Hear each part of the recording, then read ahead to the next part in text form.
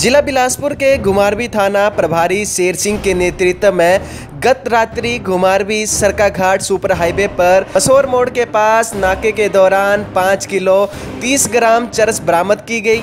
घुमारवी police द्वारा नशे के खिलाफ छेड़े गए अभियान के तहत ये आज तक के इतिहास में सबसे बड़ी कामयाबी हासिल हुई है। पुलिस ने हर रोज की तरह नाका मसोड़ मोड़ पर लगाया गया था। उस दौरान घुमारवी की तरफ़ से स्वारघाट को जा रही सेंट्रो कार को मसोर मोड़ पर रोका गया और जब उसकी तलाशी ली गई तो बैग में रखी चरस को बरामद किया गया।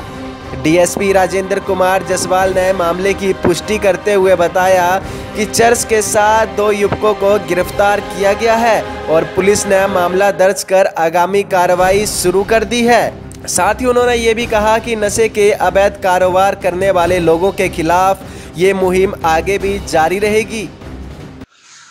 हमारी जो पुलिस है अपने सब के अंतर्गत जो अभियान चलाया गया तो इसके तहत जैसे आ, आज में पुलिस ने जो है नाका लगाया था सुबह। तो एक बहुत बड़ी अच्छी अचीवमेंट उन्होंने हासिल की है। इसमें लगभग पाँच पाँच किलो इकतीस ग्राम जो है चर्च पकड़ी गई है।